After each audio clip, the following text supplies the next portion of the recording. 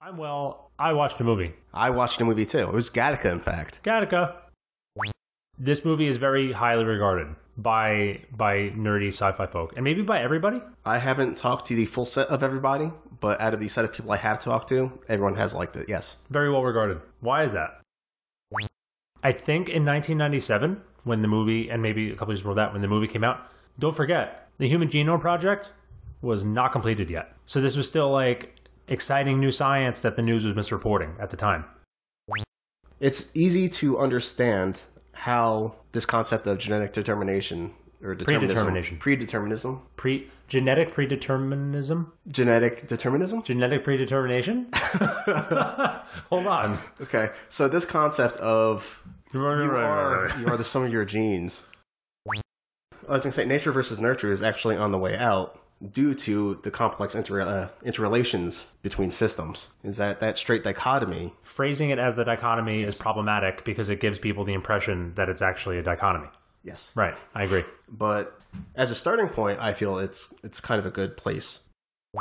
It's like getting your kids into, I guess, those fancy prep schools now. Or I was thinking more like how you can choose the genes that your kids have now. That's actually literally what we have. We're coming up on that. You could have avoided all of this by knowing exactly what the baby was going to be like. That sounds pretty cool, gone to this actually. Forgetting moral implications and how that would affect society, it sounds great because the way we did it was terrible. it was really stressful to just be out there. Avoid all the headaches. You know exactly what your baby is predisposed towards. Charles Darwin was a big part of like the he, his material was used a lot in arguments for eugenics. However valid that is. Misunderstanding of his works. Well, I mean, I guess his- misguided. it's not even misunderstanding. It's his work was unrelated to that. Like there was no prescription; it was description. It's not his problem. He didn't. He didn't tell Well, anybody. I guess misunderstanding what fittest means in that context. Okay, perhaps.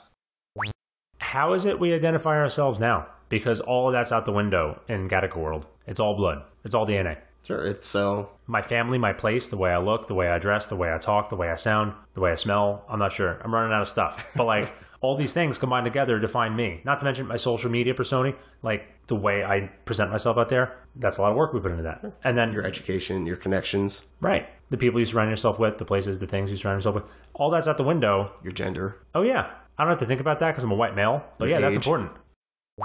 I think you had commented they they neglected to show the gallons of lotion that he must have put on every day after doing that, Yeah, seriously. Imagine if you scrub yourself with a stone every night. Like your skin will be all raw every day. You're gonna have a lot of lotion. or at least people will comment and be like, "Why do you look red and scrape the feet every why are you? Why are you all pink and shiny? and I figure the director's cut probably has the scenes where he's bathing himself in lotion every night. It's an extra 40 minutes of the movie. And just understand that Chris is very ruthless. what do you mean? He was like, "You will sit down and record even though you Slave can't driving? speak." Yeah, Listen to my boys right now. and it just cracked coincidentally. Listen, I'm, I'm coincidentally I'm dying today. You were dying the last time. It'll happen. But we're working very hard for a our little part. disparity in the level of dying. You are a little more dying than I am now. So you can go to decipherscifi.com slash subscribe to, apart from subscribing to the show, you can get to our Twitters and our Instagrams and whatnot.